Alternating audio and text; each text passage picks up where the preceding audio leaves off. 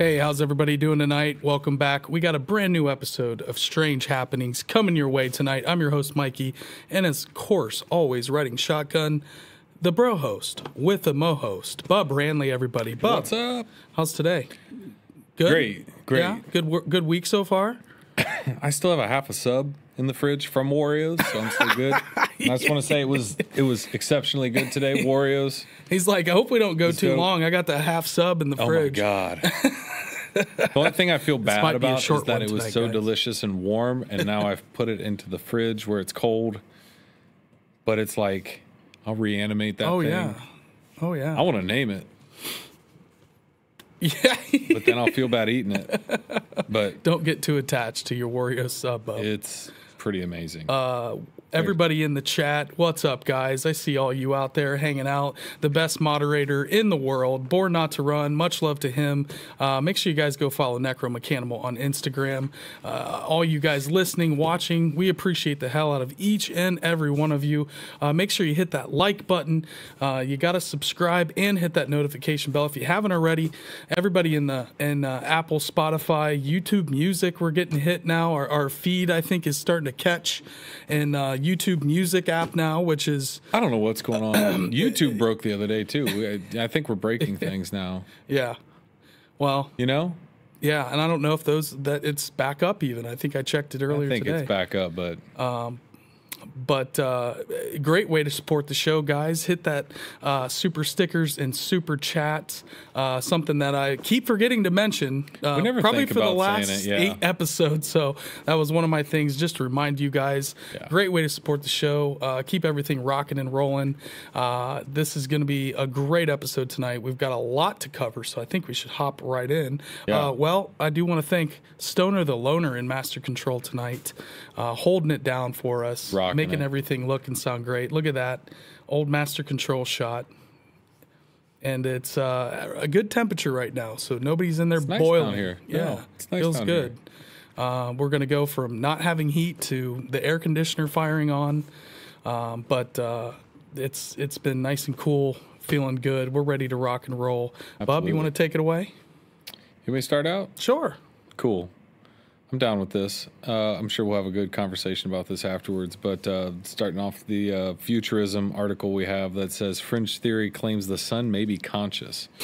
Um, it's wild. So I love how this starts off. A bong rip of a theory suggests that all matter possesses some form of mind or consciousness, not just animals, including, as one biologist suggests, the sun itself. In 2004, Giulio Tononi proposed what he called the integrated information theory of consciousness, which suggests that consciousness is essentially almost everywhere. Uh, the respected neuroscientist Christoph Koch argued in Scientific American that if lumps of matter can form into human bodies and become conscious, there's no reason that groups of elementary particles couldn't either. So in 2021, when biologist and author Rupert Sheldrake published a paper questioning whether the sun itself might be conscious, there's a quote from Sheldrake, quote, consciousness does not need to be confined to brains. The link between minds and physical systems seems to be through rhythmic electromagnetic fields, which of course are present in our brains. They are also present in and around the sun, and these could be the interface between the solar mind and the body of the sun. And Rupert Pretty. Sheldrake, isn't he the guy that has the epigenetics theory that we pass down basically our, our traits and interests uh, through basically this kind of invisible field that's tied to our DNA and it's all encoded within us. Um, and and you know he's got a lot of interesting theories about about consciousness, but the guy is OG old school. I know the name very well. I just don't know. I'm not super familiar with his work. I mean, I know the name. I know I should be more familiar, but where did they start steering towards figuring out that? I mean, I get it. I get the the end point of the thought of like, okay, Yeah. well, if it's based off electric mag- magnetic fields and the sun's doing that as well, so is there a consciousness? Like, I just never thought like. I mean, that makes you think a lot differently about how you're interacting with the world. yeah, Makes me feel bad for cutting the grass. yeah. Yeah, absolutely. I've been there. How many bees I've torn up in my clover patches in my backyard. Yeah. I mean, it's everything. I mean, the Native Americans believed that the rocks, the sand, the water, everything was conscious. And now they're coming out of, you know, talking about crystals being alive and why That's what you're saying. Yeah. ancient sites are have so much diorite. Most of it's like 60% crystalline. So when you have certain elements that are incorporated into, you know, it's essentially technology at that point. Crystals can grow, they can multiply, they have basically some sort of interdimensional higher vibration to them where there's uh, you know eighth dimensional crystals that are being created and 4D crystals and then and then boiling that down and creating these quasi crystals which basically proves that the universe is a fractal in nature, which we've talked about many times on the show. Okay. Um, but there's you know there's a lot of things that are coming out about all the things we talk about that this 3D world is it's a light of matrix essentially is what they're finding by by these uh, really really strange uh, focus with with crystals seem to be a big part of it. And there's a lot of crystal in the earth, so Right. No, I mean, I can I can go there. I mean, it's a hard, you know, it's one of those like uh, we've been talking about today of just like breaking down different paradigms of like we're talking about, you know, maybe this has lost faith in it, so you're kind of seeing it retooled, or like we're talking about just discourse and how conversations where it used to be just people shouting over the, but like now we're getting into science where we're having to look at some of our scientific beliefs and we're going to start going oh we're I think go- we're going to start really like remodeling some of those things, or there's going to be some groundbreaking work coming up, and yeah maybe part of that is with AI as well. Maybe you take accelerate. right, maybe you take what used to take a whole team of people, or a once in a century or a millennia, Mm-hmm. you get a Einstein or a Tesla or a, a whoever um, that really advances the movement of progress in certain areas. Now, what if you have AI that can help you really expand upon? I mean, that's wild to think. Like, we, it's too wild. We might start solving all kinds of things, but Yeah, inevitably, we're going to create problems from those, though, then as well, right? yeah, yeah, So then you'll need a bigger, smarter computer to solve that problem that it created, but then that problem will be created from that one. I don't know. It'll be interesting to see where we go with it and how we actually wield that because historically we kind of like, hey, you want to set off a nuclear bomb? Sure, let's set off like five hundred See what thousand of them. You ever seen that map, like the sped up timeline of the entire globe of like the first country, uh, us getting the nukes, and Mm-hmm. then whoever else got them, and then it starts showing like each individual flag of each country. Yeah. and it has a ticker under them, and it says who's setting off how many. yeah. And at a certain point, dude, it just looks like the Fourth of July, The whole Earth is and they're just engulfed. nuking, nuking, nuking, nuking, nuking, nuking, Yeah. nuking, nuking. So it's like, did we have to do all that? Like, what was the point in all that? Did you really need to test that many nuclear bombs? Like, even that kind of stuff. Most people don't realize it or think about it yeah, because, again, you're not doing it in somebody's backyard where they can see it. Maybe it causes problems to the Earth. yeah, You know, yeah. I don't know. That was a little bit of a cul de sac of a rant there, but it's just interesting what we do with power. and And Kyle and I were even talking Stoner, you know, like just sucks that we can't get to the point of being benevolent with it. We're like, I want a jetpack. I want a Jetson car. I think we should have But if you this start figured out where finding out that the sun is conscious and these kind of theories that you know people have been talking about consciousness and everything's conscious then you start to whoa now science is changing frame of mind's changing and What if- now you're not worried about these simple things that are trivial at best if you think how about, about this? How about this? How how religion? Not that I'm a big religious person, but I'll go this way. Religion has had to change and adapt to science. yeah Science may have to adapt not to religion, but to something that The is not necessarily unknown. scientific yet or understood scientific. That seems magic but it's woo woo religious magic, Yeah. whatever, under that whole umbrella. Mm-hmm. Sure, because science is like we can't prove it, we can't quantify it, etc. Not yet. they're doing it right now You're going to. yeah You're going to. Headline The sun is conscious. We know for a fact, which means that it's some kind of giant entity that can what? Think, affect other things around it, communicate. using the sun as a springboard for some kind of broader communication system. You know, these quantum entanglement communication systems where they're, you know, sending basically communications through massive long distances using quantum entanglement. again, some of I- those things are coming I out. told you about that being a part of a show story, Bro. a storyline of a show I just started watching. yeah, three bodies. I don't want to, I don't want to give it away in case anybody wants wants to watch. it. Spoiler alert, it's pretty new. It's pretty new. It's not like we're talking about Interstellar for the 20th time. If you haven't seen that, sorry. I almost mentioned it. I almost mentioned it once already. The show when you said something about the crystals and going in these different dimensions. I Yeah. was just like, I'm, I'm Matthew McConaughey inside of that weird Yes, library That's room. it. The tesseract. Yes, dude. That's I don't know if it's a tesseract, but that's just the word I use for crystalline structures are creating worlds within worlds within worlds. Think of worlds. it like being inside of a funhouse in the mirrors, mm-hmm. and infinitely fractalizing things out to where, like, Right. really, what if? Wow, this is deep. We are all one, right? That whole interconnectedness, inter, interconnectedness, quantum level. Uh, but We're what if it literally is just like we're just one entity, and we have The lived in a house of mirrors, yeah, and our universe is reflected out from us, but I am you and you are me and we are all together as the Beatles said, right? yeah. That's really bizarre.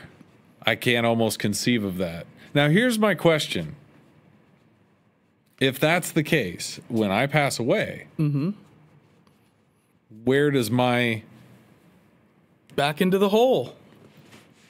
You go back into the hole, so what started all of this? into the higher dimensions. what started all this? That's the greatest question of all time. because when they, like I said, when they're these crystal models, 8D, 4D, they start breaking down these, and it, I'm a moron basically to even try to explain Bo Diddley. Yeah. Um, but you know when it when it breaks down to all these different dimensions at the smallest point, you have to observe these things for them to even become real.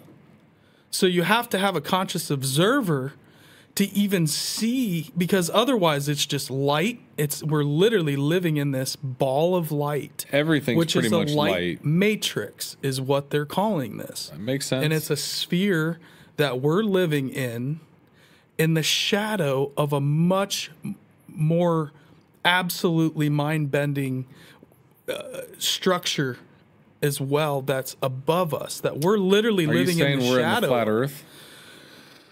well it's they call it a sphere not a plane but you know there the, the, I think there's alternate maybe there's an alternate reality where there is flat earth there's spherical earth and it's you know turtles all the way down just in uh, many different levels. Who knows? Maybe there is a 2D flat earth Oh, that they're living good. in the shadow of us like an ant farm Oh man. Speaking of which, I got to give a real quick shout out to, Yeah, and this do. is one of the weirdest shout outs I'll ever give to my brine shrimp that just died. oh no I had an ecosphere. It looks like a snow globe. It looks like a snow Oh, globe, but inside that snow globe is like a little branch and some seaweed and some water, and then like a separation of water and Yeah. air. And it's fully sealed. There used to be four brine shrimp in it when I first bought it. And I bought this thing in like, I swear, 2012. yeah it's been a while It's been over a decade. yeah And when I first got it, it had four. And I, being the master of this universe, set it in the sun too directly. It got too hot. Cook Yep. three of them yeah in the first year or two. One shrimp lived on up until what, a what week happened? ago. He just he's old. Well, he's old. I mean, he's he old. no he can only molt so many He's times. probably lonely. hang out on the stick by himself and Yeah. chase it when I clean the inside and scrub it because it- it's just it's sealed. Yeah. So that gas puts off, it grows some algae Yeah. or whatever for him or her or whatever that thing, and it's eaten, you know, and then it would. It was one of the uh. coolest things I've ever had. I would. Yeah. love to get another one. I don't even know if I they remember make where them you anymore. got that. I know that there's sea monkeys, right? Uh, It was down at a store here in town called Tiger Tree. That I don't know if it's still there in the short north, but um, yeah. Anyhow, ripped my little brine shrimp. I don't even know what I'd call him. You never named him. I'd call him Red. Red. He's trying to get a scholarship. How creative, right? Yeah, but he was great. I know. Appreciate it. The chat. I know. Getting sympathies for a brine shrimp is wild, but I'll tell you what. That was a whole. 2012. That's a long time. But I am the entity. yes, That it can't perceive. you're its godhead. Hundred percent. Yeah. And I cooked three of his friends, so he was like, "I'm gonna stay in line." I bet he was working out in there. He was like, "I got to stay in shape." Yeah, in case the lady, uh, another lady, uh, eventually drops Case, by. yeah, case that dipshit puts it in the sun too again. Solitary hot. confinement is what he was. Yep. Anyhow, do you want to do this next one? Yes, absolutely. Uh, scientists theorize that the ahead. Earth may be an intelligent entity, which again is what the people down in Peru and Brazil that work with ayahuasca and and people that shamans that have been working with peyote and mushrooms have all been saying this this intelligent entity, the Earth, Mother Earth. We've all heard that, even growing up as kids. You know, we didn't have parents that were hippies, but we still heard the term Mother Earth as it's if it's an entity of some kind. Yeah. Um, so, pointing to evidence that fungi is communicating underground suggests that large-scale networks of life could far uh, could form a vast, invisible planetary intelligence. A group of astrobiologists are asking the thought-provoking question: If a planet like Earth can be alive, can it also have a mind of its own? The planetary intelligence they refer to describes what the term uh, they term as the collective knowledge and cognition of an entire planet. In other words, if just as an individual ant appears to possess very little intelligence, working as a whole, a colony displays an impressive level of it. Uh, with this in mind, they look at the Earth as a collective whole. Well, the processes and activity on and and within our planet. So collectively, they claim that all biological, geological, meteorolo- meteorological, and all human activity together creates uh, basically this planetary intelligence that tackles global issues like climate crisis, biodiversity loss, or pollution. We must treat the Earth as a living, intelligent entity. And if this sounds familiar, it's because essentially what indigenous people have been saying for centuries, though they face uh, ceaseless ridicule and and violent terrorist uh, terrorizations for doing so, it's interesting that they additionally put forward the concept that planetary intelligence is likely the key to any civilization's ability to traverse the universe and discover extraterrestrial life. Interesting. There you go the earth is conscious. I mean, think about it. It it does I think change based off of its environment. I mean, we're seeing what we're doing to, you know, with pollution and uh, scooping all the fish out of the ocean and and Oh, uh, just yeah. garbage patch and the weather changing and Yeah, we, we kind of look like uh, mold from high above, yeah, like a, like a bacteria. spreading infection Yeah. on the planet. Yeah. We don't live very harmoniously with. I will say this: if you ever go out to, and I think it's in Sedona, um, they have a lot of like strict laws about the aesthetics of your buildings, right? Remember, Mm-hmm. Yeah. Kevin told us There's it's the only two McDonald's, that has green art. that one or two, that is not red. Yeah. The top of the McDonald's is green, like a sage green, because Yeah. everything blends into the hillside, so you can't see it. And it's like very, you know, uh, uh, environmentally focused on like the aesthetic of like blending in and like kind of like not being too intrusive, like not too like brutalistic, which is like I'm gonna put a skyscraper here, you know, like ugh, Yeah. just doesn't look good. So yeah, from certain parts, or if you go over like the top of like a big strip mine, you're like, what the hell is happening there? Are they digging to Mordor? like it looks like a, a, a you know switchback trail to Hades underworld. Yeah. I mean it's just this massive gaping hole, and they're all over the place. But let's say maybe that's something too, where it's just like, okay, so you dig a hole in your backyard, it'll fill in with dirt. You dig this giant hole, that's going to fill, you know. As long as we're not digging it next to somebody's property where you're going to have like a house go caving in there. But again, we can't trust ourselves not to do things like that. Side note underground systems. Mm-hmm. Just thinking out loud about this. I've been watching Stranger Things again. and I think the scope of underground buildings needs to be really like spun up harder. I don't think people really, and I don't even really understand how deep they go or how much there probably is going on subterraneanly. And just take Jordan, right? And, uh, Petra, um, Egypt. Kuru. All most of these sites, people are like, "Wow, look at all that," and it's like you see, it's kind of like right pat. You see maybe ten percent, twenty percent above ground, the rest underground. Mm-hmm. Yeah. You know, I always thought it'd be cool to have a house where like you just showed up my house and there was just a mailbox. Like you'd park your car and then all of my house was underground. And then I would use all of my up ground for I'd have a barn and stuff and I could use all that grass, but I wouldn't need my house to be up there. Yeah. But uh, you know, just interesting concepts like that because you can do it so easily. I mean, That's a hobbit hole, bud. No, no, I'm saying on a large scale, Yeah. like governmental Well, how many rooms did the hobbit hole have in the very beginning? Hey, Burton, Burton. appreciate that, my man. He likes the Warriors. Oh, it was so good today, Burton. I'm sorry. I'll I'll side I'll side swipe this whole episode just tell you how good Warriors was. but um, yeah. I mean, think about that. Like, I mean, even the fact that I think there's probably underwater bases, yeah, for sure. possibly not ours either, Oh, for sure. I think that's where they're coming from. hiding A in lot of plain these sight type stuff. UAPs, I think they're coming from the oceans. I think that's the The lesson one of way down in the Bermuda Triangle. I think that's the lesson of 2024. Right? Is it's all hiding in plain sight. It's all right Mm-hmm. Yeah. here. Yeah, well, we'll get To Everything. some, we'll get to some of that. oh boy. Wow. Yeah, I'm gonna need that other half a sandwich. It's so good. I'm just dreaming. All right. Uh, so do you want me to do this one? I can do this one. You got it. Yeah, so this is from our friends uh, Emily and uh, from singularfortean.com. And uh, this is our buddy uh, Tobias. Tobias. Yes, Emily and Tobias Wayland. Uh, you guys should check out that episode with Tobias if you haven't seen it. Uh, killer stuff. But these Tobias guys, is great. this is one of their latest articles. Uh, a family from Zimbabwe reported reportedly terrorized by invisible goblins. A family from Magawe, North Bulawayo, Zimbabwe, claimed recently that they're under siege by a troop of invisible goblins.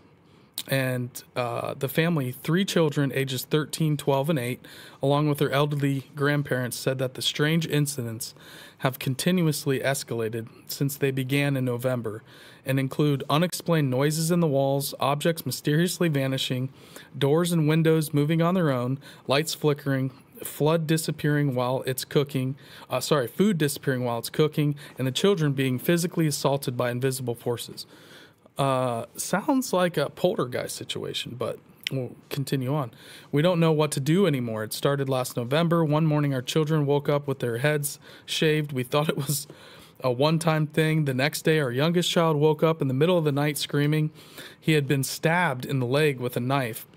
He also woke up with his head shaved again and said, uh, said the children's grandmother. They were recently sent to stay with their maternal grandmother in South Africa, but the bizarre occurrences followed them.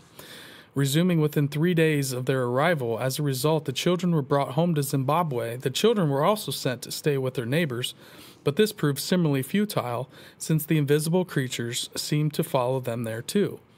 Goblin attacks are reported with surprising frequency in Zimbabwe. In 2019, local prophet Madziba Shepherd Nazira, lead uh, the leader of the Zvakarawa, I'm not even going to try, church, claimed that goblins were to blame for a string of deaths that took 10 members from a single family in Zimbabwe. And in 2018, they were blamed for the deaths of two children in the village and for slaughtering scores of livestock in the same area several months later. Yeah, not sure if the prophet, what kind of uh, you know background this this prophet has, but uh, uh, seems like a, a pretty strange dude.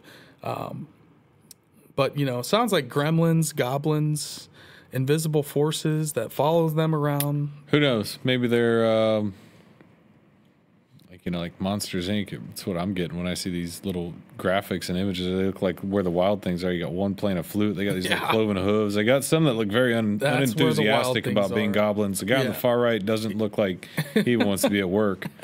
So He looks like old one boy dude's jamming a Office Space. guitar. That would definitely be me. I'm haunting you.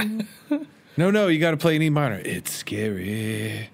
Can't play a G chord and haunt somebody. No, you can't. Can't play a D major and haunt someone. Better come in there with a B sharp minor or some shit. Yep. Anyhow, uh, you know, yeah, I think that's a common thread. It, it also kind of sounds like poltergeisty. Shaving your head, Yeah. getting stabbed by things. Like, not saying I've ever had an encounter with a poltergeist, but I just I think historically, and I'm not trying to give them a bad name if they don't have one, but Yeah. Historically, they're not known as the friendliest guest No. at the Airbnb No, for like- spirits. They're like the pesky pests of of the paranormal world. They're like Casper's mean brothers. I don't know. Was that Casper's brothers in that film, or were those just other ghosts that he perished with at the same time? yeah, they were like his uncles. that was Casper's uncles. Yeah, I think so. The three I bet that would that would suck to hang out Yeah. with those guys forever. Yeah. Uh, in 2023, nearly 30 girls in Colombia were taken to the hospital after playing with a Ouija board. What? Uh, the students had reportedly suffered anxiety attacks after using Where's this the coming from? divinatory. It's the same article. Wait, really? Uh, using a divinatory uh, uh, divinatory device at school. Less than six months prior, November 2022, 11 teens ranging from uh, age 13 to 17 were found by teachers. Remember when we were in like fifth grade, fourth or fifth grade, Not really. when but sure. everybody was into Bloody Mary? I Does anybody remember? like does our anybody school remember? put out like a notice like oh yeah, this is about to stop because people would just The girl- spontaneously start crying in the class. girls were in They our were so grade freaked out. all became completely obsessed with doing Bloody Mary I'm still not going to go during study it. hall and I don't recess think it'll do in the bathroom. It turned into a thing. Yeah, and and it became so insane that people were doing it at home. Yeah. And uh, I mean, shout out if anybody's heard of. I don't know if that's an Ohio thing, but the story goes. If you guys haven't heard that Bloody Mary People know was the story. a queen, was a Victorian age royal I don't know the story. from Bloody Mary was uh, a Google it, duchess or a princess or something. Don't even know. Just some lady Europe. that you would conjure by saying it's like Beetlejuice. But she had gotten murdered, and so the there were these people that were trying to bring her back, and the way that they brought her back was saying Bloody Mary ten times into the mirror, and so then you could conjure Bloody Mary through the mirror. And it, it- and who knows if the, those girls there were ever will be seen- a river of blood. It's Uh, like Vigo shit. yeah Like floating, head floating in the mirror. yeah Uh, yeah, it was. No, it's not. I don't know. Uh, but yeah, uh, that turned into a thing. yeah That It- it really was got a- into. They got people freaked out a little bit. It was kind of cool. Yeah, yeah. Uh, but then there was light as a feather, stiff as a board. You remember that? Never participated in Light, it. light yeah. as a feather. People do it at sleepovers and slumber parties. Like uh, I've heard I know tell. some. I know some girls that have played around with that stuff, and they were able to lift people off the ground. You know, these little fifth grade girls Yeah. are able to, you know, Yeah. collectively. I've heard again. I've heard the stories. I've never participated. You s- just focus. Never done a Ouija light board. As a feather, stiff never as a board. participated Light as a feather, light as a stiff- feather, stiff as a board. Never. Um, But do, kid, do, do people do that anymore? Because now there's tablets and iPhones and yeah, there's actual people are screwing around with a Ouija board anymore. Yeah, you got an iPhone. You got Bloody Mary. Apple Vision Pro. Yeah, Who knows? Maybe we had there's. to make up shit to to keep busy. how is it that we've gone this far and like we don't have any like modern equivalency yeah, of the witchcraft that we had when we were children? Seems more adventurous. Why back in the is it that we let all the magic go that we had? We used to have all kinds of sweet magical stuff. Is what it sounds like. It sounds Yeah. like we were. Yeah, we This is more- crazy. Yeah, This would be like if the ancients were like, "Why'd you stop using pyramids and all this sweet technology?" We're like, Yeah. "Well, "Dude, we just we had cell phones. We thought we were there. we went this way when we could have. We actually gave up more as we've gone further. That's We've given up interesting. a lot. Yeah, we've given This is what I'm saying. Where science is going to have to take some of the woo and bring it in, Yeah, validate the woo, embrace the woo. materialist science. Not all the woo, be- but enough woo. yeah, it's going to have to integrate uh, with just nuts and bolts materialist science is going to have to give a little bit with some of these things that are just unexplainable.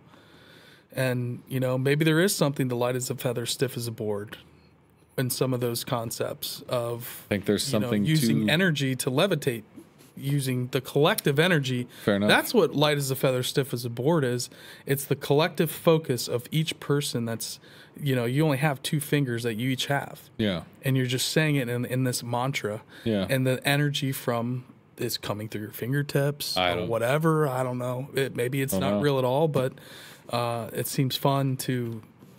It'd be way cooler if it was. Heather said, "Embrace the woo." Next T-shirt. hey man, I'm there. Like, TSR, embrace the woo. I think the woo should be a character, like one of these little Yeah. goblins, but like a lovable looking, cuddly, fluffy, weird woo. Like Yeah. maybe the unenthused guy on like- the right would rather be the woo Crystals as horns. instead of that. He just doesn't look. Look, he's shoulders slumped back. He's like, this, "What the hell? We're gonna He's do this frumpy. again." The one on the top. We're right gonna shave frumpy. this kid's head again. He's Yeah. clearly not getting it. He's frumpy. The guy on the bottom left looked like he might have just hit the bong a little too much before going to work. Yeah. He's like, "Where are we going, man?" Um. Anyhow, so the next article, you want this one, or you want me to jump into this one? Go ahead. The Unexplained. This comes from phys.org. Um, giant Swedish archive logs paranormal phenomena. Newspaper clippings, books, and firsthand accounts of people who said they visited other planets are cataloged in a giant Swedish archive on paranormal phenomena, attracting the curious and researchers from around the world. The Archives for the Unexplained, or the AFU, claims to be the world's biggest library of paranormal phenomena. I just want to pause right there. The Vatican's is bigger. Yeah. Play. Clearly. With 4.2 kilometers, 2.6 miles, pause. The Pretty Vatican big. the Vatican has 50 miles. Yeah. Play. Of shelves running underground. Clas Svahn, 65, and Anders Liljegren, 73, who run the archive located in the southeastern town of Norrköping, say they are neither superstitious nor believers, but rather curious investigators of the unknown. Pause again. Neither superstitious nor believers, but rather curious investigators. So, coming at it with, like, you know, hopefully a balanced approach, it seems. So, the Archives for the Unexplained, the name of both the library and the association that has collected documentation for more than 50 years, is mainly comprised of books, but also more original documents such as firsthand accounts of paranormal activity recorded on tape and photos of ghosts. This is a cool library. Um, Reminds me of the Edgar Cayce archive in Virginia or something like that. Well, just the cultivation of it too, and the, you know, yeah, you could do this online, I guess, but you know, maybe not everything that's been written down actually made it to Amazon.com. You know what I mean? well, Maybe not all books Yeah. are online, which whatever we should push to have the the great amount of knowledge we have should all be everywhere at once to people. But you remember when we covered the AI reading the Sumerian tablets? Sure. Apparently, that's all done and built in the UCLA archive now. I thought it'd be interesting if we did an episode where we j- literally just took a tab. You can take a tablet off the shelf, pull it down, and real and translate the whole thing. you know what it's going to say? I don't know what it's going to say, but if we get the Person En- X Enuma- owes me. Yeah, and it might. three bags But of grain. They have the Enuma Elish. Not all some of it, but a lot like of the it will be. of Gilgamesh. Yeah. you can pick those books. Sure. So, But I'm just saying, a lot of the early, early writings Yeah. and stuff like that, the first Well, the reason they wanted it for was for inventory and stuff. the first was- cuneiform was for were marks to keep track of debt. Debt and Yeah. goods, and we Yeah, have this like, much. You have said- two apples. well, I was saying earlier about Ishmael, you're trying to predict the future and how, you know, instead of like we got to move with food, we can make food, we can keep food, and then we can like control our destiny a little more. Um, and once you and agriculture took off, you had to be able to track all those goods. Well, that was the other part of it. Yeah. Well, that's when money started coming out too. So, so the library Babylon. receives about 300 visits a year by appointment only, Oh, which I think that's cool. you think we're getting in? No. the archives are in the process of being digitalized, and many of the documents can already be consulted on a server. That's wonderful. All that is needed is an access code, which the pair are more than happy to share. Um, the AFU is, is uh, administered by an association of volunteers and hobbyists. I understand. Also covers the folklore, the beliefs associated with paranormal phenomena in general, said Svahn. Quote, We love to see this as a social thing impacting society all around the world and impacting lives. People whose experiences and accounts are not taken seriously in society can find their rightful place in the archive, says museum curator Magnus Bartos. Quote, the archive says something is unexplained. That means we shouldn't reject it. We should investigate it. We should be open. That's a great, you know, just kind of like last quote.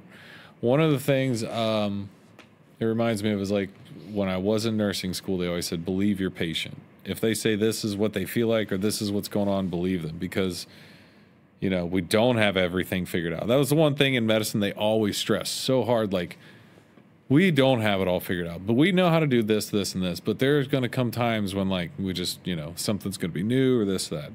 So, like, listening to, and even this guy saying, like, you know, it might sound wild and fantastical. Again, I'm watching Stranger Things again.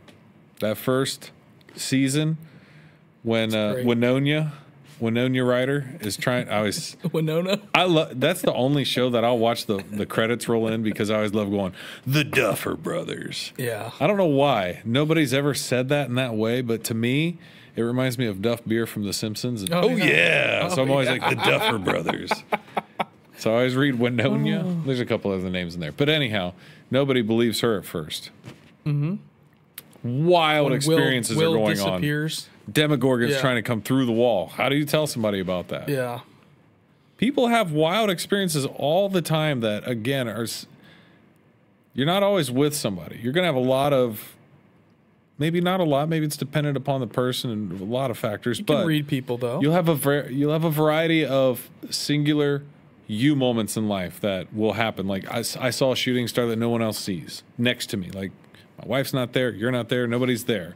It's kind of a singular moment type thing. So again in these where you don't have somebody witness with you how do you find commonality and common ground to like talk to mm-hmm. somebody about it? So i think it's the smartest thing because if you're open and you're like hey cool that's your story you told me i can't really say for sure if it's real or not. I will i'll listen. That's kind of what we've always said. Right. i won't say you're legit or not. I don't know. It's your it's your encounter your interaction. But if you get all those you might start realizing oh this person had the same encounter as this person. That doesn't make any sense if they're not correlated. It'd be like saying well there's pyramids over here. And why are there pyramids over there? They're probably connected. This is just another Yeah. you know mm-hmm. Causal relationship in a certain way Yeah. and it encourages people to come forward and share their stories again like i wonder how many people don't say anything ever Yeah. Oh, majority. I would say Oh, majority. those have to be the best stories oh, too For sure. For sure. Barna, uh, like across the board Yeah. How many people are getting on History Channel or one of these shows or William Shatner's The Unexplained? Like, yeah, I can't wait to get on a TV show in front of millions of people and look like a kook. Nobody wants that. Unless it's, you know, you're, you're, you know, someone like Karen Wilkinson, for example, where she stayed quiet for years and years and years and years about her story and everything that was happening to her. But after a while, you just feel compelled, you know, to share and to meet other people that are having those experiences too and do talks and go on podcasts. Uh, Karen was just on Strangeology. i'm a i I have to write this idea down in a separate space, and I don't even want to mention it right now because this might be one of the greatest ideas I've ever had. All right, let's have it. No, I can't right now. Okay. By the way, go has it. had so many ideas that a a year or two later that you've talked about, and then it's like a real thing that somebody's either making money off of or It's- somebody's created. It's gonna or- freak me out if I see a, if I see anything like what I just thought up right now. That's it. I'm going to Mexico and starting my life over as a bullfighter. All right. So uh, two weeks ago, guys, we covered uh, Padang, uh, Gunung Padang, and talked about this paper that recently came out, multidisciplinary. It's gotten a ton of heat, and there's a whole what seems like an army of people, scientists, researchers, archaeologists, that are trying to uh, basically disprove this, uh, and so they're working really hard to get this retracted uh, by the journal that published it. Uh, so this is from the Daily Grail. Last year, the ancient site of Gunung Padang in Indonesia garnered worldwide media attention after the publication of a paper in the peer-reviewed journal Archaeological Perspection uh, that made the astonishing claim that the site could be the world's oldest pyramid, and not just by a little, but 28,000 years, uh, which would predate uh, the Giza pyramids, which were 5,000 years ago. So we're talking many, many, many millennia uh, older. So the orthodox archaeologists and skeptics were quick to hit, hit back against the claim, and those objections also made worldwide news in New York Times Smithsonian Magazine. And now the criticism seemed to have won the day, at least for now, as the journal has now officially retracted the paper. The retraction note does not provide the response from the authors. Unfortunately, and perhaps unfairly, however, it can be read at Danny Hilman uh, Nachawijadas, which Nadawi Dajas. last week I pronounced that two weeks ago when when Roscoe hosted. I nailed that damn name. Nadawi Jajas. Yeah, I, I nailed it. Ask anybody in the chat, man. I was on top of it. It's interesting. It's a hard name to say, but it's So it's a good one. Danny Hilman, his Facebook page, you guys can uh, maybe we should link that. Uh, but it's posted earlier today on behalf of all the author- authors who expressed profound disappointment at the unwarranted retraction, along with the contextual documentation such as the email exchanges leading up to the retraction. And so, uh, and you know, kind of want to hit this and just see uh, read a little bit of what Danny Hilman has said here. The unjust retraction of the groundbreaking research, a call for academic integrity, is the title of this Facebook post. We, the authors, express profound disappointment at the unwarranted retraction of our paper titled Geoarchaeological Pros- Prospecting of Gunung Padang, Buried Prehistoric Pyramid in the West uh, published by the Archaeological per- Perspection by Wiley on October 20th, 2023. The retraction is solely based on unfounded claims raised by third parties who hold differing opinions and bel disbelieve in the evidence, analysis, and conclusion.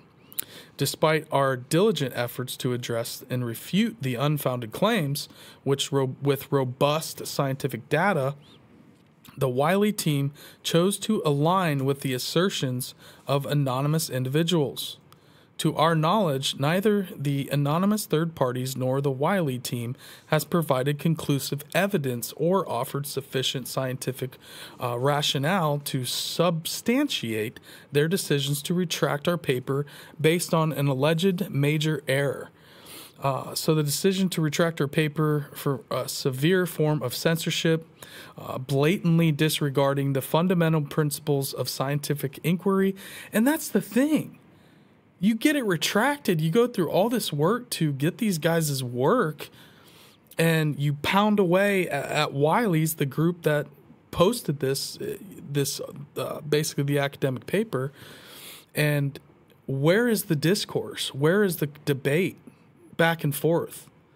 Is there some paper that maybe they could write to disprove this? Instead of getting it retracted and pulled down, what kind of a quasi scientific universe are we living in right now? I know. don't get it. How about writing a paper and publishing that of all your ideas going back and forth? So, I mean, this guy's saying that they haven't given any evidence or given any data to rebuttal any of these these theories or proposals within their paper and it, it's just it, to me it's unbelievable um, you know i was talking to jeffrey wilson i think it was last week or a couple weeks ago uh, you know his new book ancient monuments of the mississippi valley uh, expanded edition Right. which is for sale graham hancock uh, shouted jeffrey out on grahamhancock.com Okay. and posted on uh, didn't even mention Jeffrey by name, but just said this is a really useful Um, right. Uh, book for anybody researching mountains in Ohio, blah blah blah. And so that went nuts in this Facebook group called Disproving Archaeology. And this group has thousands and thousands of people, but they basically posted this link to what Graham Hancock wrote and then started bringing in all these people that are just bashing Jeffrey's book that know nothing about it. And so one of the rebuttals of the of these posts was our video about Jeffrey talking about giant skeletons being found at Serpent Mound to somehow make Jeffrey look like a kook, but never referencing the video that we actually did with Jeffrey that was two parts that explains what his book was about. His book doesn't say anything outrageous. It's just that Graham Hancock talked about it. So it blew up into this huge thing, and Jeffrey gets in there and starts talking science and starts hitting back with, you know, and and kind of letting him know like this is completely unwarranted. You're not even referencing my work. Have you read the book? Yeah. Here's this is the actual episode with the strange road where I break down, you know, the overarching parts. So it's like you have these groups that just hit back so hard to try to if you're you know calling him he's not an archaeologist he's not this but then they don't realize that jeffrey's a, a you know a, basically was a physics professor uh, worked for nasa was you know he's got a scientific background Mm-hmm. uh, it's just a shame but this is kind of another example of um, these groups that get together to just knock out any debate or conversation. But Jeffrey's Facebook group, Friends of Serpent Mountain, if you guys aren't a part of that, absolutely blew up through this whole thing that happened.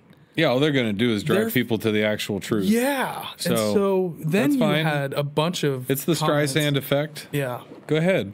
Yeah. So Don't look over here. It's the wizard behind the curtain. Was so good for them. Well, it's the more you don't want somebody to look at it, the more they're going to look at it. Yeah. Would you just look at it? Yeah. Just look take a look it. at it. Just look at it. Just look at that. Here we go, Bob. This is right up your alley. I think Yeah. you should. I think you should take this next one. I think I found this one. Yeah, but this is- this, this is because it, you know, I've got that Michael Cremo filter. Uh, When I see anything that falls into that category, I'm like, what is this? So anytime I see really old and it shouldn't be there, such as researchers unearth a three million year old tool, I get interested. So Yeah. it comes from Discover magazine. Um, the discoveries push back the date of one of humans' earliest technological advances. Um, ancient tools buried for millions of years in Kenya may be the oldest example yet of our ancestors' technological prowess. The tools recently discovered on the Homa Peninsula in Lake Victoria are now the earliest known examples of Oldowan technology, stretching its known start date back by as many as 400,000 years. Just a little you know, because, you know, we're living to 70, 80 years, right? 400,000 years, that's just a little bit. It's not much. Inconceivable. Yeah. So, just to get on my soapbox on and off there, the um, Oldowan Toolkit is a term anthropologists use to describe the distinct technology that lasted for millions of years before Homo sapiens ever walked the earth. These tools usually involved very controlled rock flaking or like knapping or, you know, rock, rock knapping. Like people still do it hit one stone against another stone. Ancient hominids chipped off sharp, thin slivers, leaving a sharp edged stone behind that would be and would have been good for chopping or scraping. These uh, slivers could also have been used as uh, sewing materials and other things. The Nyayanga excavation site where the stone tools were found is a lush tropical place with deep gullies. As these gullies erode, extremely old layers of dirt and sediment and sometimes ancient fossils and tools are exposed. Rick Potts, the director of the Human Origins Program at the Smithsonian National Museum of Natural History in Washington, D.C., Your boy, your boys. best best institute ever, and his study co-authors found that found that the 330 stone tools they unearthed at Nyayanga date between 2.58 million and 3 million years ago. That's hundreds of thousands of years older than the previously old uh, oldest known set of Oldowan tools, which were found in Ethiopia. 2.5 to 3 million years ago. Let me pause. Smithsonian there at the end. You know how weird this is going to sound because this is what people always say about Michael Cremo stuff when, when he's like, hey, we found a hammer in somebody's ago, but somebody put it there. I could see the Smithsonian actually doing that. Yeah. Hey, let's go out here, let's plant some stuff and find this. Like, we got to advance it, you know, things are moving. Mm-hmm. But, and I'm not trying to be a, a jerk. I'm just saying, I could see that being because I think they have even more wild stuff at the Smithsonian than three million year old tools, to be honest. Oh yeah. I think this is like, you know, not even in the vault. I think this is just laying around there, like, grab that off the coffee table. The good stuff's still in the vault. Mm-hmm. But it is interesting. Time keeps on slipping. It gets older and older. It just keeps getting older and older. It never stops. How does it never stop? How? because we're technology is accelerating what we can find with all the tools that we have at our disposal now. Right. You know, the, in these tools, like there's, uh, you know, gamma cams now, which you can see gamma rays. That's interesting. You can actually film gamma rays and radiation, whether it's coming from the ground or you know it's it's in the atmosphere. Um, it's you're going to be able to like like we talked about. You can photograph auras now. You can Right. you know gamma cams where you, you could detect with a with a Geiger counter, but to be able to photograph and actually have a, a video of where radiation is seems kind of wild, yeah. doesn't it? Yeah. But imagine that tool five years from now with AI in, integrated into it and what kind of censoring technologies that DARPA's already been developing for 20 years that we are not going to know about for another Yeah. 20 years. So it's going to accelerate everything that we know. And you're not going to be able to hold the wall back. Yeah. no, no, it's it's coming. Yeah, it's going to just break through. It's going to be a flood of I think finally admitting I think it's all happening. we don't know everything. There's no set determined timeline. It's we got to find the data as it comes out. And fair. you know, not restricting.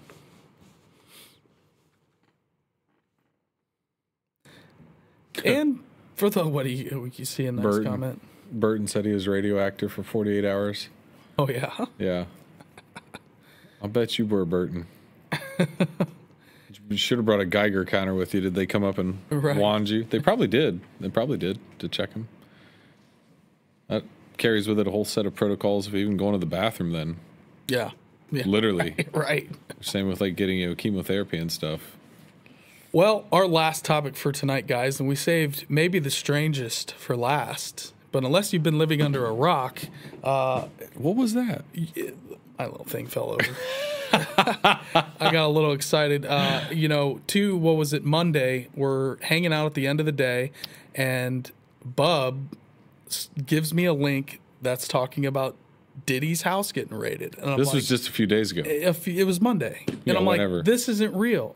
This is some Nobody kind of believed me. This can't be Diddy's house. This can't be actually happening. House And the is. whole thing was House is. unfolding live House is. on X. And then I go on YouTube and there's the Fox 11 LA.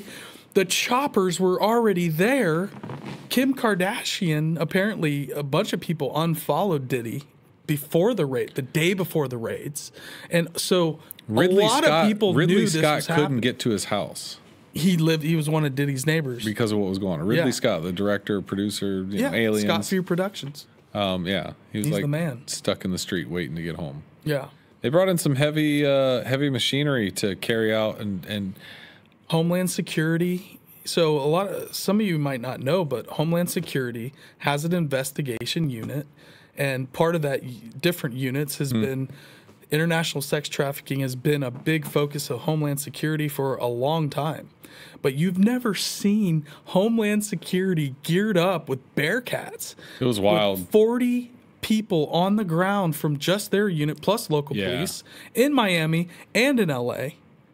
Uh, yeah, it wasn't. It wasn't just your average. Hey, we want to take a look around. Like they raided, raided, but even before we get into this, I'll say some of the the controversial things stuff surrounding you it that were I've been listening to.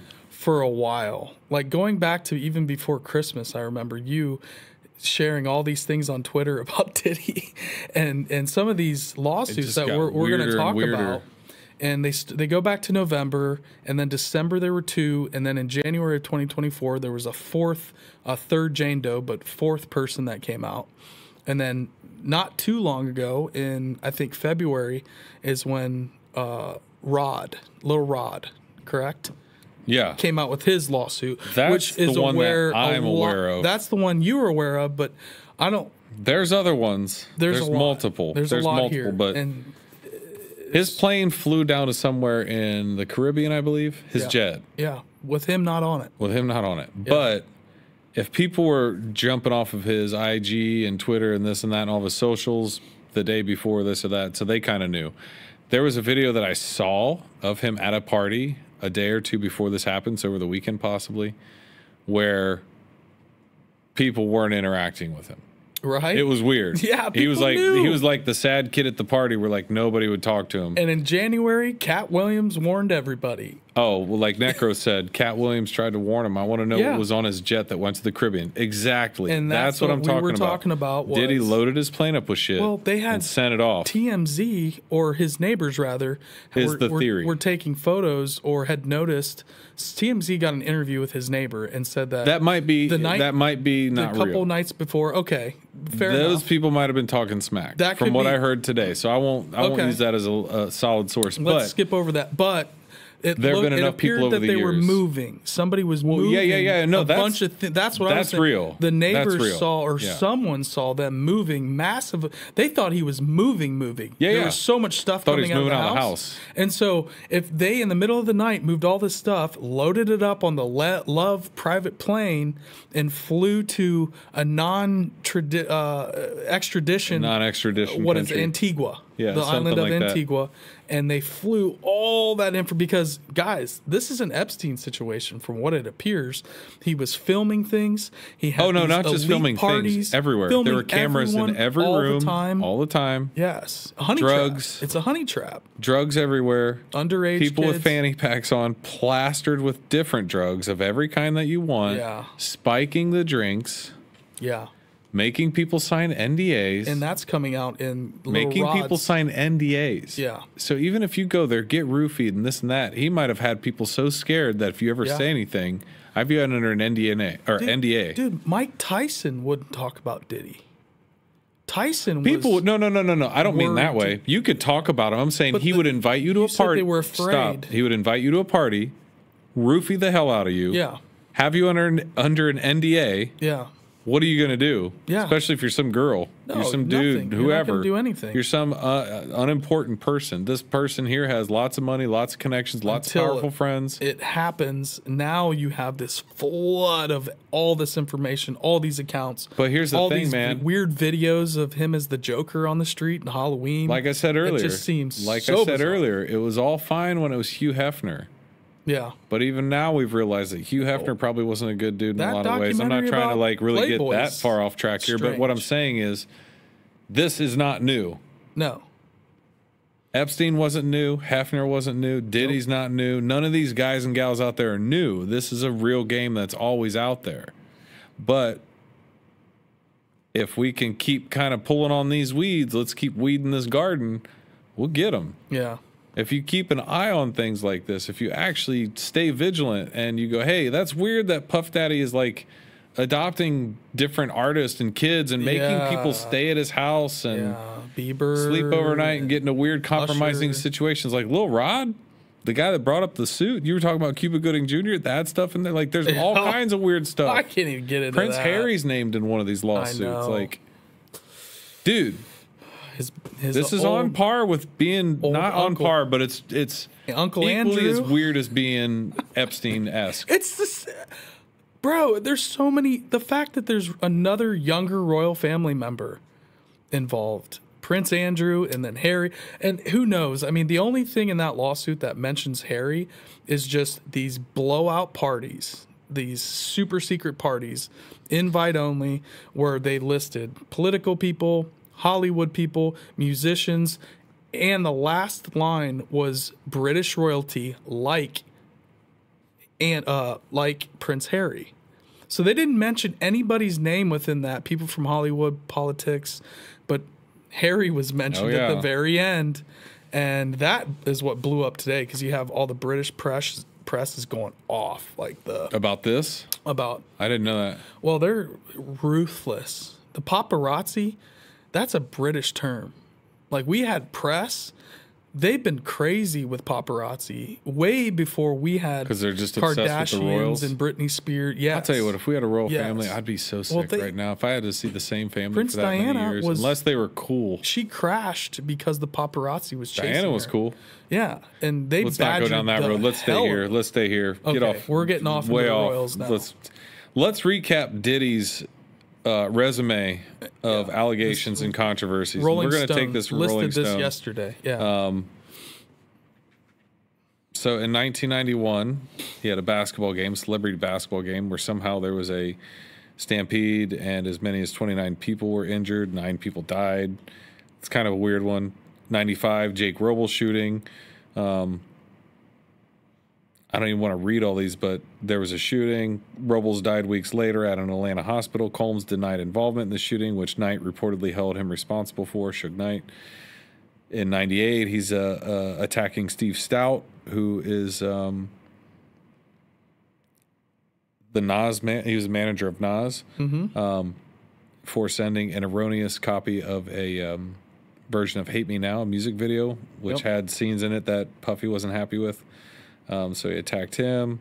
New York club shooting in '99. Scuffle with J. Cole in 2013. Punches Drake in 2014. Who punches Drake? This one I actually remember. Fights UCLA coach in 2015. Yeah. This one I remember hearing Yeah. about because back then, I'll be honest, like in that time and era in 2014 all that stuff, I actually didn't use X or Twitter or Yeah. Instagram or I had Facebook, yeah. but I didn't really use it that much. I used it for the band I was in and stuff. So yeah. I was actually super, super, super late to social media in a lot of ways, which is fine because I'm a fast learner and I catch up.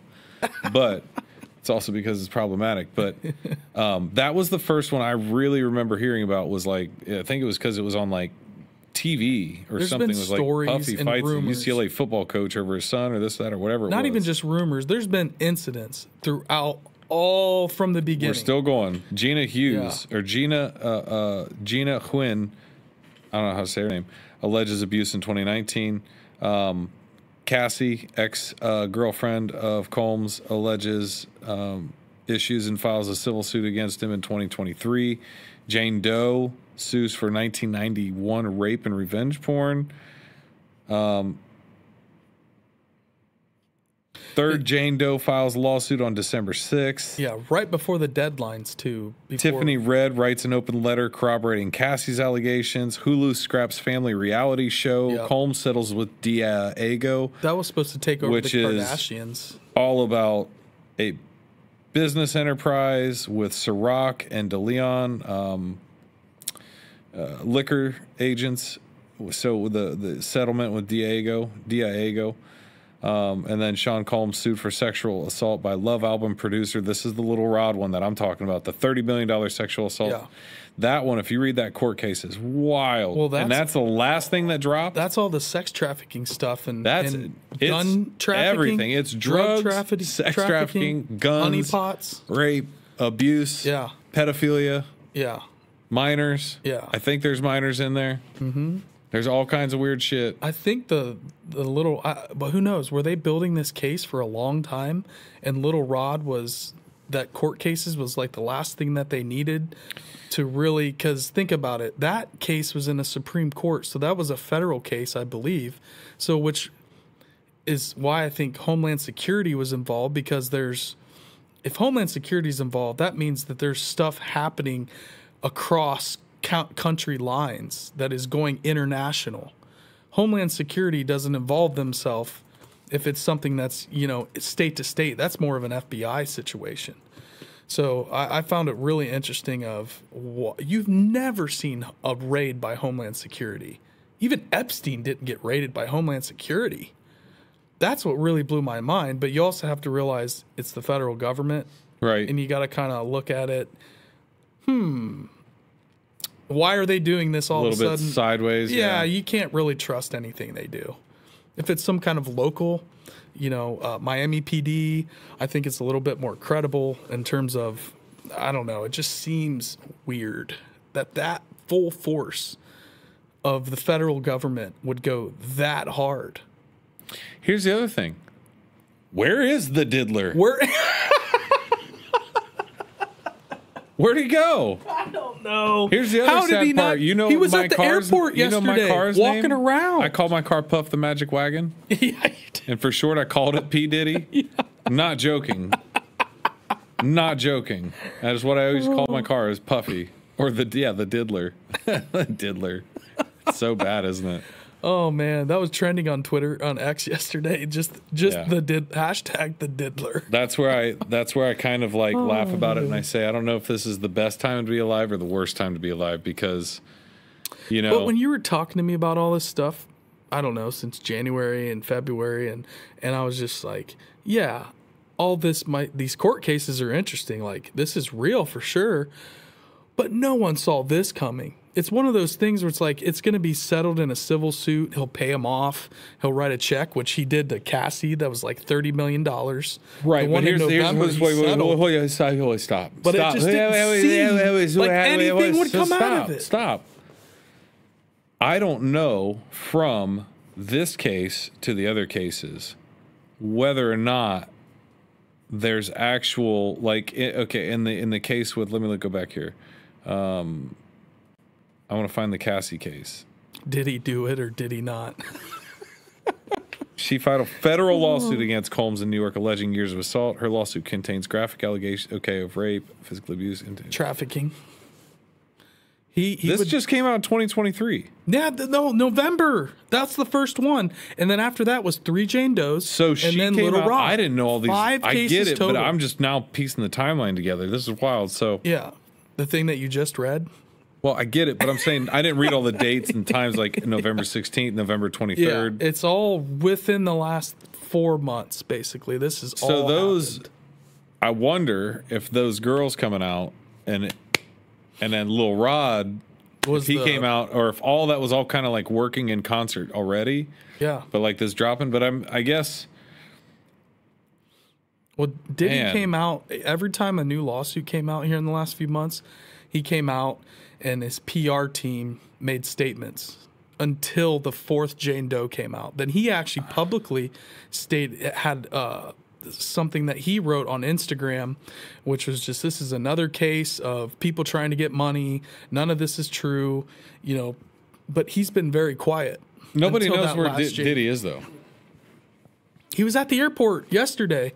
He they The had last- TMZ was filming him that. walking around, I get that. The- pacing with sweatpants on. I feel like the last thing I saw or read was that He's he had gotten on a jet and his jet disappeared from radar. well, who was the guy that said he would wouldn't be surprised like like If he a killed year himself? ago? Yeah, if he Epstein himself or yeah. I mean, I'm just saying. Let me see if I can find that one. There was a. It was a. Uh, oh, here's another one. If you want a really strange one. Um, this is just a wild headline. Slowly at CERN in Geneva, the Large Hadron Collider Particle Accelerator is coming out of its regular hibernation once again. The first collision of proton beams are expected on April 8th. So they're firing up CERN on what day? the eclipse. Yeah. Wow. You know what else has been coming out that is anybody else in the chat or anybody else listening, if you can corroborate this as well. Have you seen these articles or posts coming out about saying about like this the syndrome where people have where they like they see people's faces like Yeah, like over embellished like a like a goblin? Like the uh, do you remember smiley the- faced man, right? You remember the Soundgarden video Black Hole Oh, Sun? yeah, yeah, And yeah. everybody's face is like distorting and getting weird. Yeah. And that's that story that Willis, Weird Willis, talked to us about that got uh, the smiley face man and Darren, uh, Woodrow Derenberger, Yeah. uh, Indrid Cold, Indrid Cold. gets mixed up and kind of tied into each other. But that was Yeah. a totally separate incident. Was the smiling man that was walking up and communicating with him? Uh, so yeah, that was a that's a left turn there, bub. We went from Diddy to the Large Hadron Collider. I just I had that saved in my um I had it saved in my notes. I had to uh had to talk about it. That's all I got. Yeah, the the Diddy thing was. Oh my god! Did it about There's- break you? I just did not think that this was happening. How about the bridge that went down? We didn't even talk about the bridge No, that we didn't. down. The bridge is We should strange. mention that. Uh, it could was- be just bad driving. It could be. There was a general on the Alex Jones show talking about how it, he called it like a Black Angel event, Black Swan. Black Swan event, which I don't know what that means. I've been hearing it a lot. is applied to like the some- market, applied to it's not a good thing. Is it some kind of like black flag? Uh, It's like a foreboding like it's like foreshadowing in a story. But if you look at like, that ship, it goes like this. It comes around and it just turns and drills that center giant beam in the middle. Oh, yeah, And the whole thing just collapses around it. And that barge is still there. I mean, it looks like an intentional smash. it, I won't. I don't know. I don't know. It's very, very bizarre. It doesn't seem good. There's another. There's a bridge in Rome that burnt yesterday too. I don't know what's going on. Um, I don't know, man. I think. I think. It's Do you think the Mothman's gonna start appearing? All these bridges. No, God, I hope not. oh boy. I mean, yeah, it's just things are getting stranger and stranger and stranger. And this might even go back to my theory that I had the one time where, like, I'm a very dualistic yin and yang type person.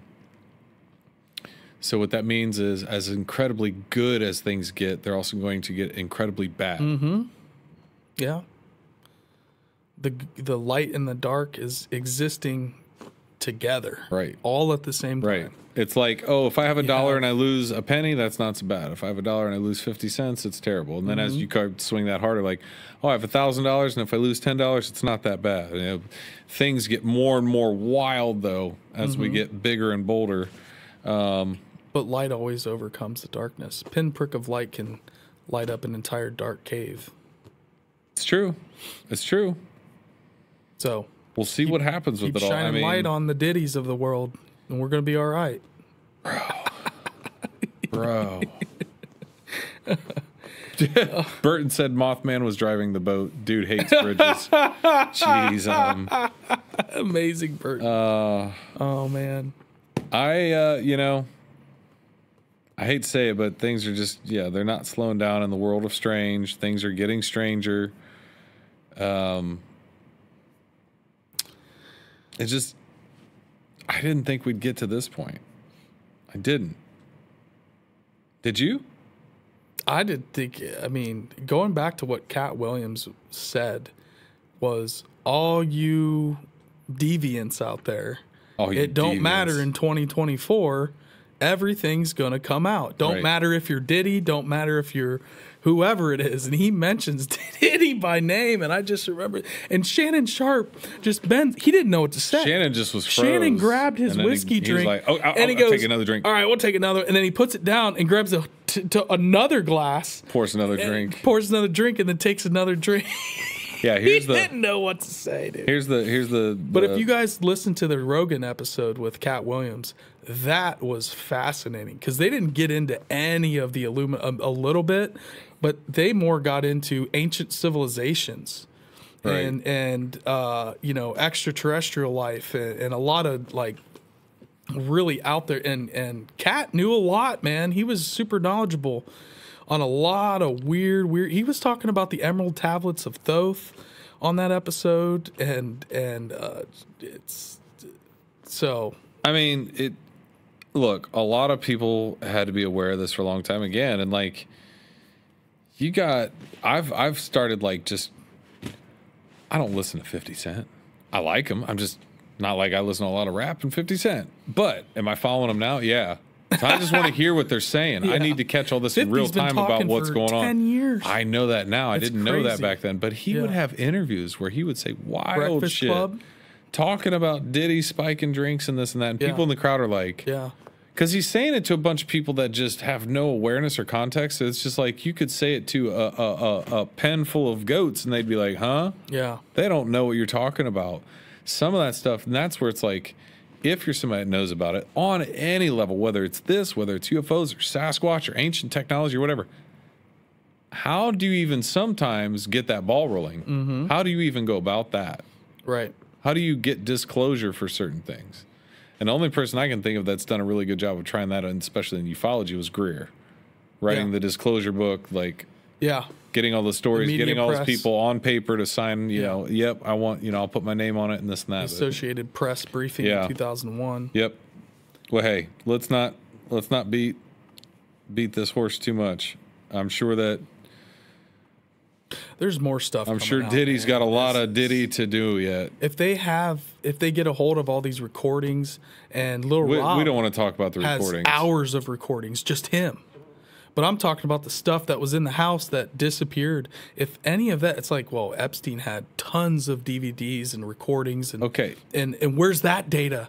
The New York New York Police Department has that somewhere. Yeah. Do you know what I would say? The first thing that I was thinking of that made me think about all this was uh, this makes me go all the way back to the fucking Sandusky case. Oh boy, here we go. It makes me think all the way back to that yeah, everybody knew.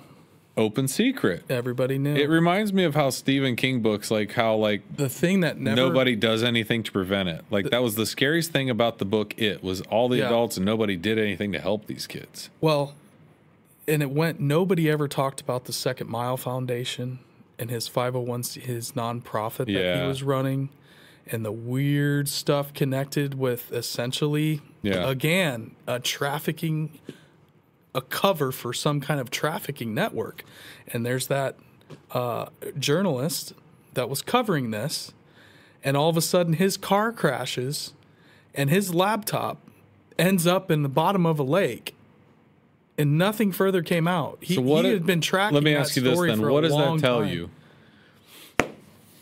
What does it tell you? It tells me that there were people on a massive scale that wasn't just Penn State that Well, not knew right, not just that, but people that are supposed to be in powerful positions to do good are doing bad. Yeah, in my 'cause I- I, think if you seek power and that's your objective, Because if you were against innately- that, if you knew anything about it, if you had heard that guy's story, if you heard the journalist, if you were a cop locally that knew about that, yeah, the coach he knew and he tried to come out and he told all the right Mike authorities, McQuarrie? Mike McClear, McCleary or McQuarrie. We'll see how far he actually. I don't know. I didn't read into all that. How far he actually went with it, and how much is. He went to the chancellor or the president, whoever is the top at the university. First, he went to Joe Paterno. He went to Paterno, and, Joe then he went to like the president, and then he went to like He this. went guy. I over mean, I know that Paterno's they head. were they went high up. and they all had meetings about this with him had separate meetings and it was logged somewhere and, and uh, where they had found that yes it was talked about and they decided to handle it all internally it never did anything that was in 2008 when mike mcqueary came out Just trying to win another and what was that 2011 football or games, 2012 Let's not rock the boat here too much. We're talking about a well institution of football. they ended up firing him from being a part of the coaching squad, uh, the coaching, uh, the the team. Officially, he was gone from the university. Yeah. but he still had access to all the facilities. He never really went away. He didn't technically work for them. They just didn't have him front That's facing. Mike, Mike McQuarrie. they didn't have him front facing. that locker room situation, he was already fired from his job as a football coach at that point. But why is he it. still there? I don't know why there wasn't a homicide that day. If you're Mike McQuarrie, Right. But it's a person of power. What do you do? That's What do this I do? person for well, if you're Mike you know, put I'm yourself gonna lose. that I'm gonna lose my job if I'm Mike McQuarrie. yeah, faster than he sure. lost his That- job. I'm gonna. No doubt. I'm with you. Sorry, Jerry. You won't be using the facilities here ever again, or anywhere oh, ever Oh, man. again. Uh, there would be no amount of getting myself zen. Yeah. Absolutely. I just I can't even fathom it. In that case, was the first instance to me. Not that there haven't been other cases, because again, there have been more. But that to me was my first recognition moment. And again, if you didn't pay attention to it, you didn't know it. If you don't like football, it didn't know it. If it didn't matter to you, you didn't see it. Like it's real easy to not pay attention to some of the stuff if it's not what rocks your boat. Guess what? Doesn't re- it's not really what I want to know Yep. about, but Yep. I want to know about if it's happening because I don't want it to happen. Yeah. So sometimes I got to stick my ear and listen to garbage that I don't want to listen to. Yeah. But it always makes me think of Bowser and how that's what his kind of ethos of, you know, doing things where he's like, you know, listening to just Yeah. vitriol from people where he's like, I don't agree with you, but I need to hear what you're saying because I need to know the other side of this coin. So Yep, yep, it's yep. one of those. So again, soapbox, I'm off it. Well, we're going to end this on a positive note. Guys, we had an amazing episode recording the other night with B Mills. Oh, my The, gosh. uh, uh, she started the Ohio, uh, Hocking Hills Bigfoot Festival and Conference. Uh, she's been researching, she was Bigfooter of the Year in 2019. Uh, so that episode is going to be coming out not this Monday, but next Monday. Uh, we are dialing things back a little bit. We got some things going on on the personal level. We have some things that are cooking for gigs and different things. So uh, we have uh, we're going to keep uh, strange happenings moving forward. Uh, but you know, just so you know that there there's some stuff happening behind the scenes here that we're trying to get our, our thumb on on the pulse right now. We're we're in conversations and, and trying to do some big things right now. We just need some time to kind of re uh, organize the uh, collective effort and everything that's happening down here. And we appreciate your guys' support so, so very much. Uh, and, you know, don't forget about the Strange Road merch portal. Uh, go get your t shirts, hoodies. Um, we've got uh, the t shirts here. If you guys want one of these t shirts, just hit, hit me up. We'll figure Yeah. out something. They're Uh, very cool. We have purple, we have teal, we have gray, black, we have the hoodies. Uh, we've got some of these hats left, guys. Um, but hit us up. Uh, we'll make it happen. I'll, I'll ship it out for you and uh, send you a link, what, whatever we need to do. But uh, make sure you guys, if you're here on YouTube, hit that like button again. Subscribe. Got to have that notification bell. Everybody that's listening uh, on Apple, Spotify, we appreciate all you guys. And, uh, you know, we've been rocking and rolling with uh, the YouTube shorts and trying to grow the channel and all kinds of different ways right now. Uh, Little Comb, my, my nephew's been killing it and helping us out, and Stoner's been feeding him all kinds of great stuff to, uh, you know, keep keep things moving forward. And uh, hope you guys are enjoying it. Let us know what you think. Uh, hit us up. Let's connect. And like I said, we have some big stuff coming down the pipe.